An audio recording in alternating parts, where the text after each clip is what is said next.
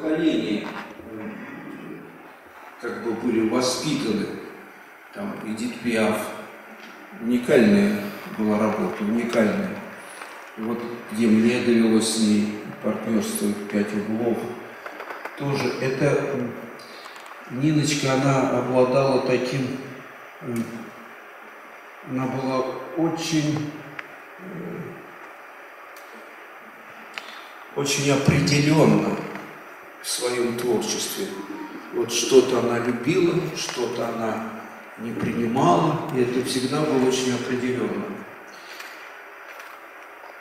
Надо сказать, что несмотря на то, что она не так много играла, как я уже сказал, но все работы вошли в ее в историю отечественного театра и кино. Если говорить о кино, ну вот одна ее эта роль, первая в кино, по-моему, первая, «Чистое небо», ну, просто в аналы вошла. Конечно, нам будет очень не хватать Нины Дробышевой как такого камертона. Она была определенным камертоном. Если есть такая высота дарования, высота чувств, высота пафоса, то значит нам неудобно уже и неловко другим грешным сыграть как-то рядом с ней, не совсем достойной, ниже. Она была такой камерто актерского творчества. Царствие Небесное, спаси Господь. Какие-то искренние слова этой замечательной не только актрисе, но и человеку. Ниночке Дробышевой. Мне посчастливилось играть с ней в спектакле, который был спектаклем, наверное, ее жизни. Это спектакль, поставленный Борисом Щедриным, Эдит Пиаф. Роль была небольшая, но мы с ней так проникли в нее, пытались перенести каких-то, каких-то не театральных, а каких-то запредельно жизненных человеческих эмоций, что получали, конечно, большое удовольствие. Она, я рад, что с ней столкнулся в этой пьесе, где она, правильно сказал Стеблов, играла на уровне, наверное, так греческие актрисы, играющие трагедийные роли, тратились так, как тратилась она. Она тратилась так, как итальянская актриса Анна Маньяни. Я помню в этом отрывке, когда я ее брал на руки, она была легкая, как пушинка, изящная, в этом платье сшитом Вячеславом Зайцевым. Она была, была вся мокрая, потому что она теряла килограмма два, три за весь спектакль. Она себя не жалела. Там было удивительное самочувствие и соотношение вот этой роли с фактурой самой Ниночки. Потому что весь спектакль был пронизан э, музыкой и песнями Эдит Пиаф, которые действительно не могли не волновать, эти песни органные, мощные, идущие изнутра. И когда Эдит Пиаф кончалась, и ее, ее песни Нина начинала говорить, и тембр голоса был на резкость похож на, на голос Эдит Пиаф. Было ощущение, как будто сама Пиаф вышла на сцену зрителя. Вот такое было ну, даже вот говорят, э, как там в малом театре, надо играть так, чтобы иголочку нельзя было просунуть между образом и этим человеком, актером. Вот это было просто на редкость удивительное вживание в тот характер, который она использовала. Она была на сцене э, в течение полутора часов. Она не сходила на сцену. И было просто удивительно, как можно после этого еще двигаться. Вот такая была отдача. Сейчас таких актрис нет. К сожалению, нет. Ну и, конечно, спектакль был удивительное изящество.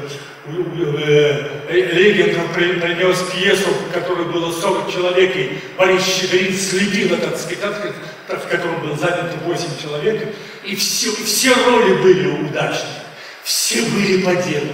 Это был такой шедевр. Я помню, мы играли в фойе, и приходилось спускаться по лесенке, чтобы выйти вот на эту эстраду, которая была построена посередине, там среди этих клумб и цветов. И люди сидели так, что приходилось идти очень осторожно, чтобы не наступить. Москва ломилась на этот спектакль. Я хочу сказать, что он прошел 572 раза. 572 раза, и она выходила как на воду. Она никогда не, не, не, играла в полсилы. Она играла до остатка, до, до изнеможения. Вот такой гимн этический, как вообще актер должен существовать, и как он должен себя не, не жалеть. И тогда публика будет его любить по-настоящему, а не так формально хлопать в ладоши, как иногда у нас теперь бывает на театре. И человеческий. У меня удивительное ощущение от ее порядочности, такта, чистоты, способности отстаивать свою правду, способностью быть честной и в искусстве, и в жизни. Конечно, я еще мог бы много сказать. Но нет, нет, тяжело. Тяжело, что потеряли такую актрису. Конечно, она могла бы больше сыграть. Но вот, как всегда у нас бывает, что бриллиант остается не востребован. Прости, Ниночка, прости, прощай, прощай, дорогая.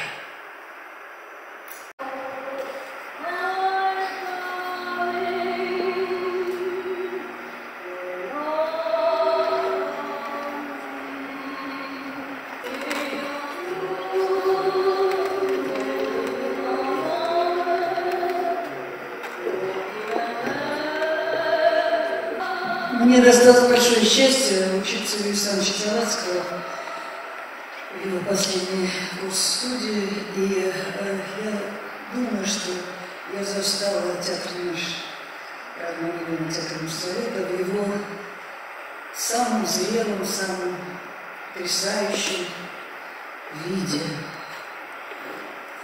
И скажу честно, вот сейчас Леонид Евтефьев говорил о том, что спектакль Дегтярев потрясал. Да. Вот на уровне дальше тишины, царского охота, еще Эдит Пиаф. Эдит Пиаф – это что-то пронзительное, невероятное. Вы знаете, я помню, после спектакля он шел в фойе, э, кончался ночью, в первом часу, когда еще люди боялись ночью по улицам, значит, и хотелось куда-то бежать. Все во слезах, но хотелось куда-то бежать, с кем-то говорить, кому-то это рассказывать.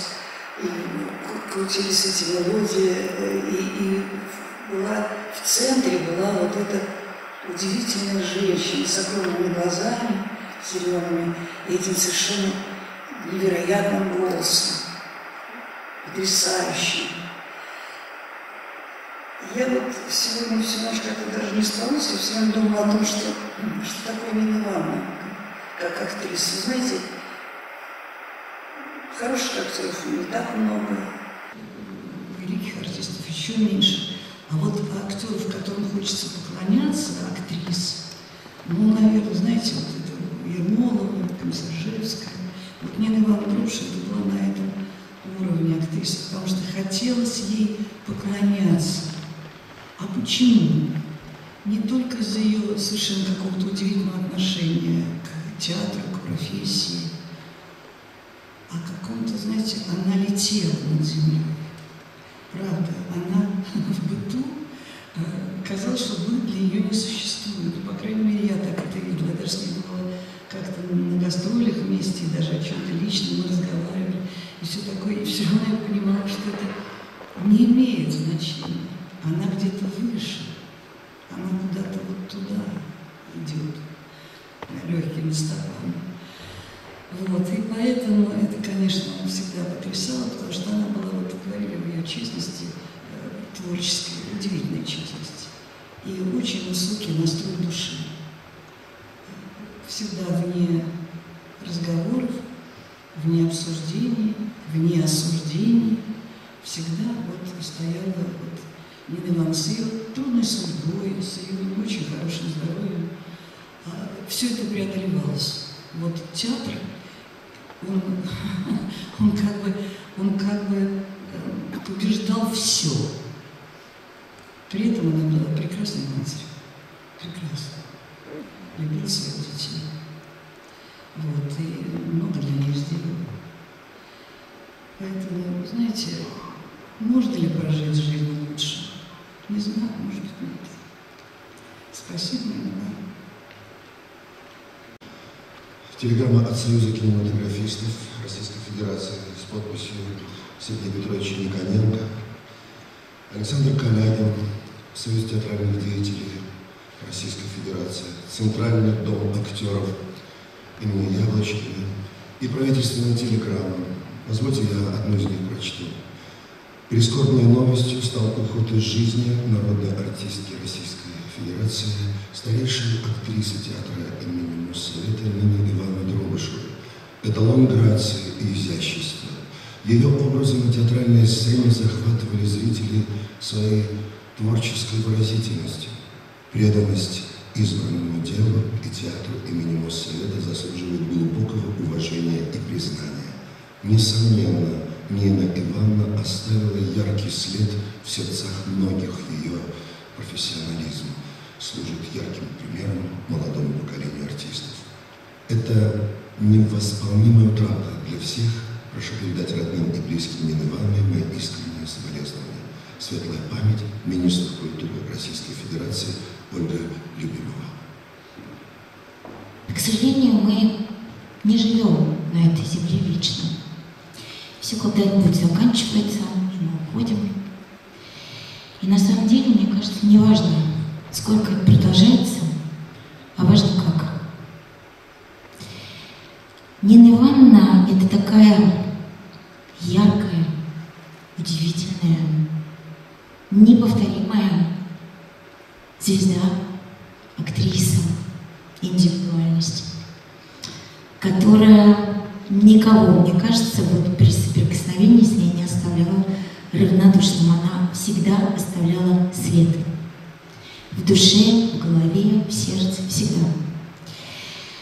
А, понятно, что те роли, которые она сыграла, и «Пиаф», и «Чистое небо», и другие фильмы, понятное дело, что это уже наш золотой фонд, это навсегда, и огромное количество поколений будет смотреть, наслаждаться этим явлением, этим талантом.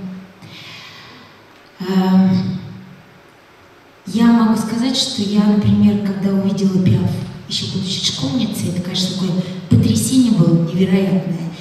И вот э, Леонид Евтифьев абсолютно правильно сказал, совершенно было фантастическое впечатление, что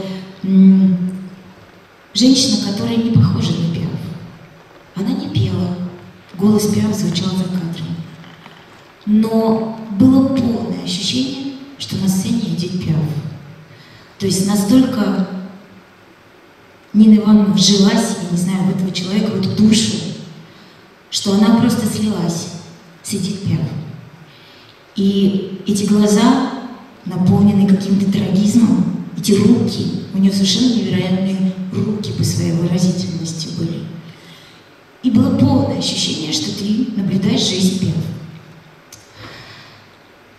Когда я пришла в театр после института, одна из первых ролей мне довелось сыграть в спектакле, который назывался «Кин, Кин или гений беспутства» с Геннадием Портником, одну из там, главных ролей. И когда речь зашла о костюмах, мне принесли платье. Удивительной какой-то красоты платье. Я даже не знаю вообще, это какой-то не мой кино, Вера Холодная такая, аля. А, оно было все сверкающееся, переливающееся, расшитое стеклярусами, какого-то удивительного, тонкого, совершенного силуэта. И предложили вот такое платье. И когда я его одела, мне сказали, а ты знаешь, чье это платье? Это платье Нины Ивановны Дробышева, она в нем, в нем играла какие-то там спектакли ранее.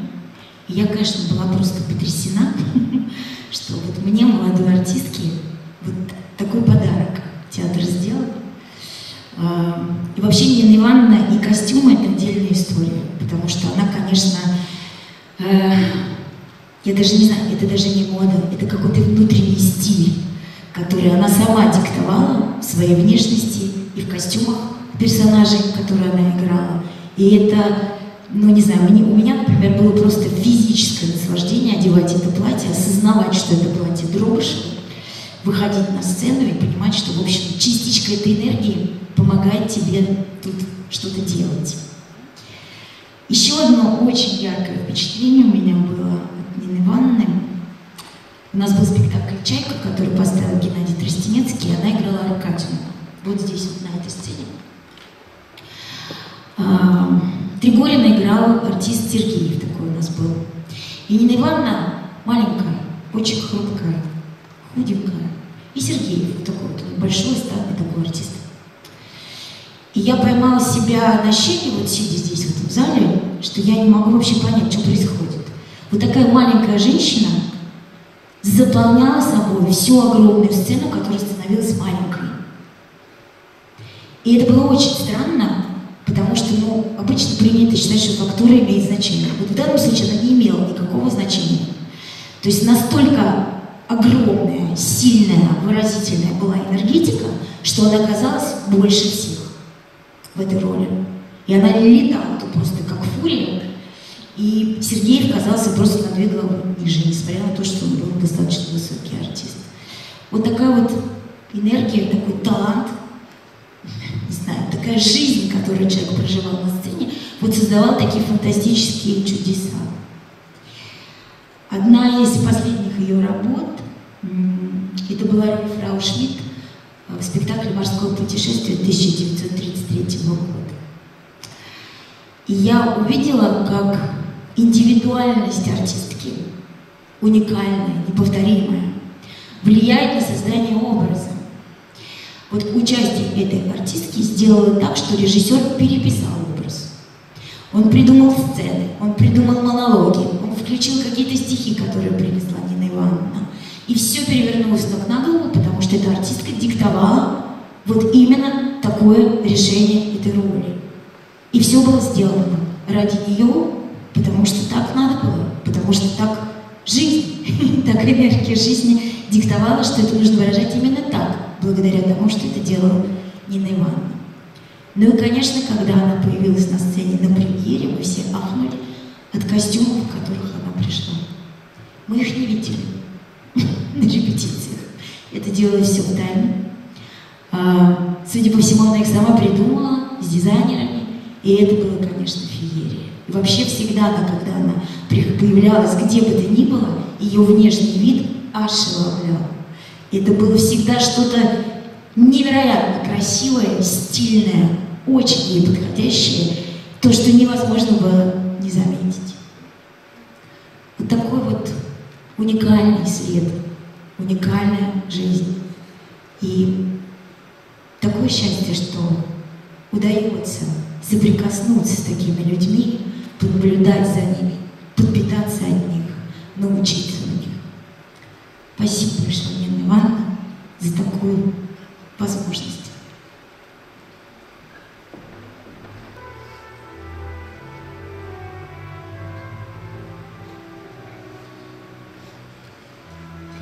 Мне повезло репетировать играть с а когда я решил стать актером, мне сказали, ты куда лезешь там? В общем, порой тебе, выходи, страшно там очень.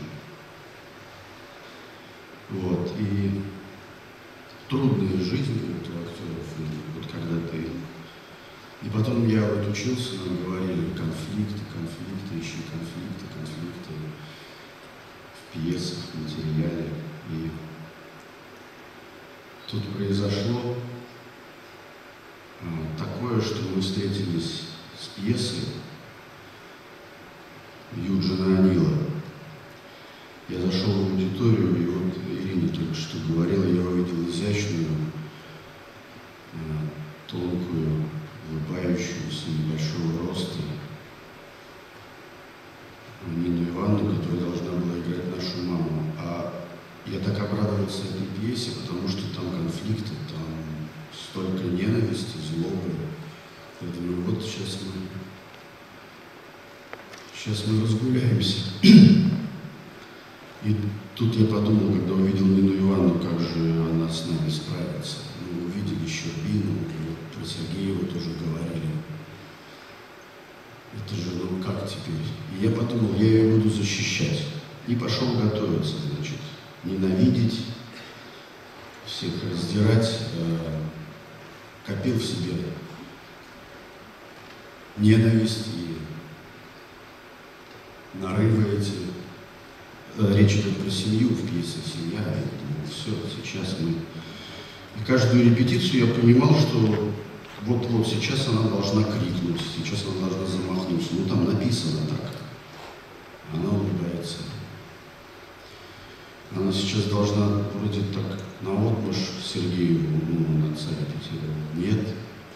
Она так аккуратно, что-то руками, у нее изящные руки, она что-то руками и вставила. И тут я столкнулся с тем, что к концу репетиции я понял, что все эти слова, ненависть, злоба и все остальное, вот плохие слова, они куда-то улетучились. Появились новые, намного сильнее, прощение, поддержка, любовь.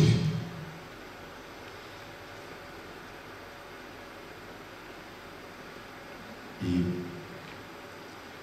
э, мы выпускали спектакль под названием «Долгое путешествие в ночь», а, по-моему, выпустили «Долгое путешествие в свет».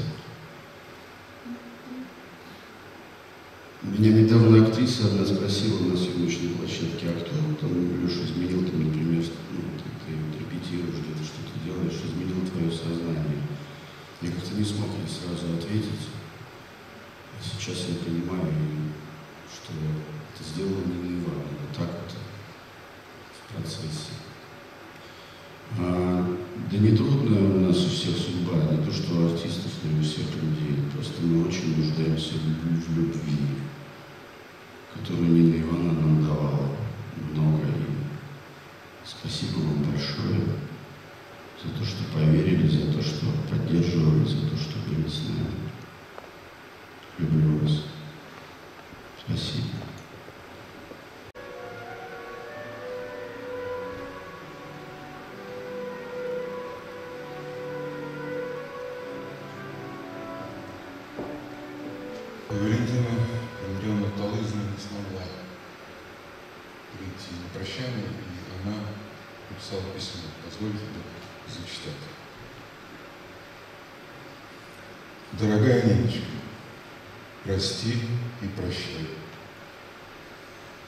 Прекрасная актриса, прекрасный человек, прекрасная мама и прекрасная бабушка.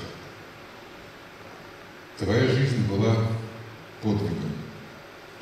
Ты всегда покоряла своим обаянием и высоким профессионализмом. Мои искренние соболезнования твоим родным и близким. Высоких тебе небес и светил твой путь к Господу. Прости и прощай. Валентина Талызина.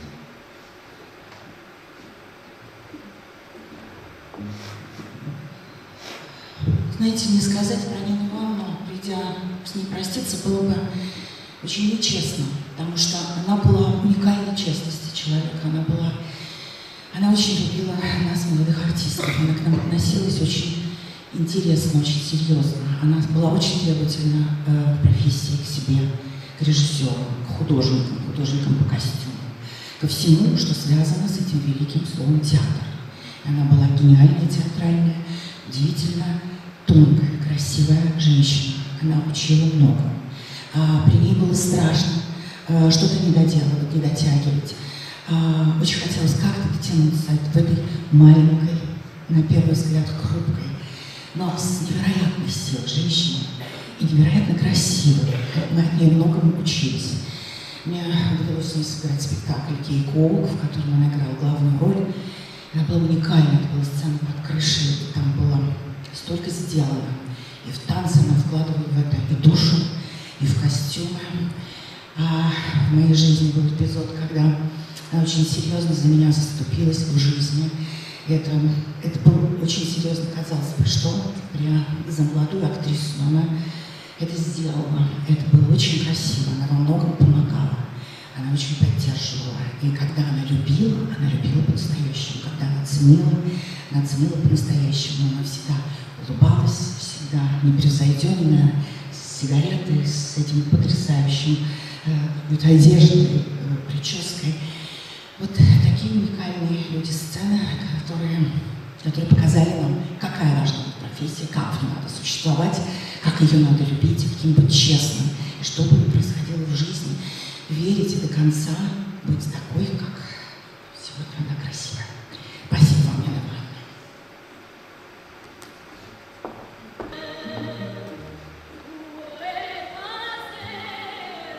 Нина Ивановна Дробышева для меня, извините, для меня была в этом театре как мать. Я могу это сказать. Лена сидит в зале, она знает всю мою историю, когда я пришла в театр. Мы, первая моя роль и премьера была «Мать Иисуса». Я играла вместе с Ниной Ивановной, Нина Ивановна, конечно, мать Иисуса, и умирает моя мама. В этот год, это 88-й. Нина Ивановна, я даже не знаю, как это назвать, она приняла меня как-то, ну, не знаю, могу быть, я не знаю, как это сказать. Она не просто меня любила, она меня берегла, помогала, охраняла, говорила, что надо делать, куда надо идти, не сделай здесь ошибки. Она очень много мне лично, мне дала, потому что я и ошибок много совершила, и даже не говоря о том, что я так переживала смерть мамы, что я... Это история, которую никто не знает, и она в двух словах заключается. Я готова была лечь в психбольницу, потому что я не знала, как дальше жить.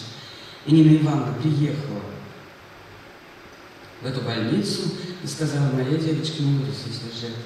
Меня просто перевели в неврологию, где больница СТД, там в этот момент Петр Наумович Фоменко там отдыхал, все там отдыхали. Я месяц лежала, вышла и увидела мир, и стала дальше жить.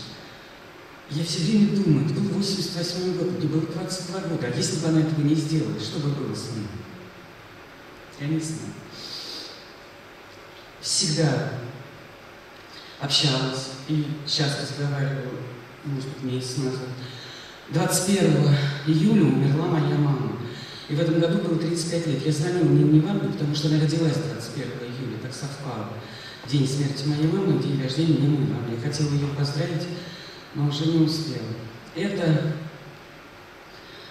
я на ее юбилей подарила ей э, портрет и написала там стихи. И на юбилей привезла, вот э, Леночка сегодня привезла, он висел у нее на стене в рамке. И э, Лена, спасибо, Лена, Ан, они, Филипп ездил на, на Фрунзенскую, вот они вынули из рамки, чтобы я прочитала. Это юбилей, было и написано любимой моей актрисе, женщине, человек, потому что это Маяковский, как человеку играть, ну, что такое, шутка, женщину по Маяковскому, как Нате, маленькая и сильная, нежная, непреклонная, актриса с талантом сто крат путь, за который выложен мраморными шипами колено преклоненных с розами. В их лепестках купалась, даривших поражалась, не сходила, любила, плакала и смеялась, приходила и уходила, но одна такая, ни с кем не перепутаешь. Голос только уже завораживает и леденит душу, писать-то о ней дружу. Держать в напряжении весь мир способна, и потом выпустить из рук, если разочаровалась, и не сожалеть никогда, не думая, что удобно, что выгодно, что не больно, чтоб сердце сжалось, чтоб билось, чтоб с этой мощью и мудростью силу эту на сцену выплеснуть и тихо потом в показаниях путаться, что это экспромт или сиюминутность. Наверное, все такие великие. И я буду потом одна, которая из, которой счастье имела всем в пику с, вами выходить из одних кулис. Прощайте. Спасибо. Сейчас Рита говорила о спектакле «Мать Иисуса». Мне тоже посчастливилось быть на ментальном уровне сыном этой великой актрисы и прекрасного человека. И в нашем спектакле, когда мы говорили, ух ты, так ты, оказывается, сын самой дружи, я улыбался, и ту часть энергетики, божественной силы, которая была дана этой сильной женщине, принимал на свой счет. Э, сегодня мы не только плачем, улыбаемся и вспоминаем, э, сколько добра принес этот человек в жизнь каждого из нас. И в этом зале сегодня нет тех, кто хотел бы быть, но по объективным причинам отсутствует. Наталья Тинякова ушла от нас ненадолго, прекрасная, умная, редкая актриса. Уходит выдающееся поколение профессионалов. Какая горечь, как грустно. Спасибо, Нина, твоя Наташа, Тинякова, Юрская. Я сегодня сам чуть не опоздал на эту торжественную церемонию, потому что смотрел с утра чистое небо. И лишний раз убедиться в том, что мы в наше время, бегущие, стремящиеся куда-то вверх, иногда не можем остановиться для того, чтобы увидеть, услышать, почувствовать. И сегодня это чистое небо, оно отразилось таким аккордом любви и осознания того, что, оказывается, ты в какой-то степени сопричастен к этому человеку. И каждый из нас, кто сидит сейчас на сцене, кто находится в зале, тот, кто хоть на какое-то мгновение имел счастье общаться с этим человеком, может считать себя счастливым. Наша церемония подходит к концу. Если кто-то из зала хочет подойти, попрощаться с Ивановной, вы можете это сделать, потому что потом мы попросим вас пройти фойе и останутся только самые близкие. Пожалуйста. Несколько слов скажет внук Нины Ивановны Антон.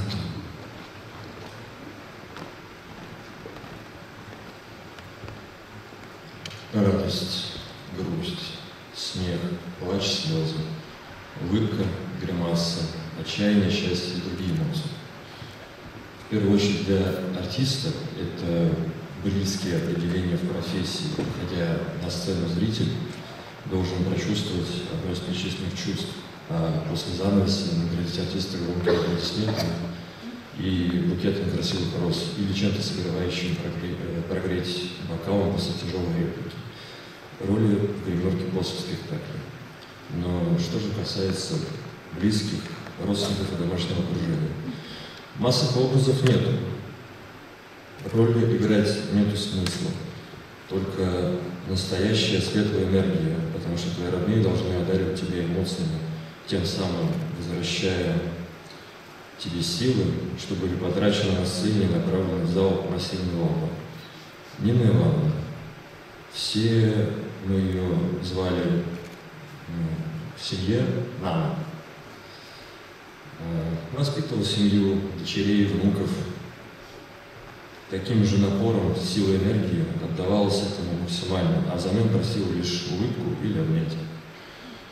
Для меня открыл мир литературы, занимался со мной русским. Это было достаточно сложно и интересно. То есть это было с таким твердым напором, но э, выходило так, что я мог практически не учиться, а потом меньше чем за неделю я готовился ко всем экзаменам и сдавал их на пятерки. Вот. Э, то же самое она помогла поставить мне речь и внесла в мое развитие огромный дар. Э, мне очень нравилось э, встречать Нану за кулисами и смотреть, как около гримерков, не, снять, не сняв с себя наряд и не отойдя еще от роли, плавно переходила в мир хлопот и домашней уюта.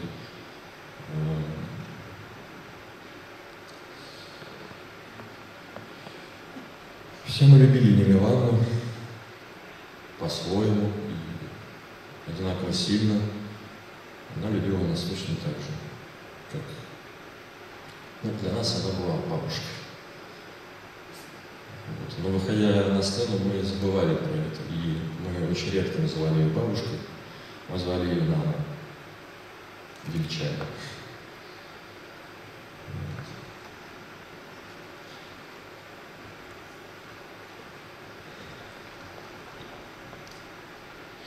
Мы э, сколько могли, сколько получалось, помогали ей после того, как э, ее физические силы подвели, в том числе и ее желание вернуться на сцену, духом она не шатнулась ни разу на моей памяти и всех остальных родственников. Вот. Глаза горели надеждой и желанием вернуться снова в мир, а не быть прикованной к кровати. Боролся до последнего, сохраняя при этом улыбку. Спи спокойно, любимый Нина. Здравствуйте, а, Филипп, Лукин Иван Дробышевый. Буквально пару слов, сильно времени занимать не буду. Вот вы сказали камер- камертон, а можно я возьму? Да? Возможно, да. Вы сказали камертон, да, который задавал определенную планку, да, он так- такая же камертон у нас был и, собственно, и в семье. Для меня бабушка, она была действительно такой птицей. Она очень высоко летала, и всю жизнь мы на нее смотрели снизу, и хотелось как-то к ней приблизиться, и иногда это получалось. Иногда мы с ней говорили на одном языке. Это, вы знаете, это вот то, что происходило здесь, на сцене, и происходило в жизни. И у меня с ней это такая очень сильная, мощная, феноменальная и глубокая красота жизни, красота души. И вот на волне этой красоты и мы строили нашу связь, и эта связь для меня была очень особенной. И действительно, моя бабушка – это феномен. Это вот настоящий феномен, который со всеми с нами случился. И я бы хотел, чтобы и она бы хотела, и я ее сейчас слышу, она с нами, она хочет, чтобы все этому порадовались, улыбнулись. И сейчас наступает время разлуки. Я знаю, что, возможно, это не принято так, но бабушка проживала такую жизнь, где часто вела себя так, как не принято, поэтому именно такой она была. Поэтому, если вам не сложно, давайте мы проводим ее, потому что сегодня последний выход на сцену. Все вместе проводим ее аплодисментами. Ей будет очень приятно. Спасибо. Наночка, я тебя люблю.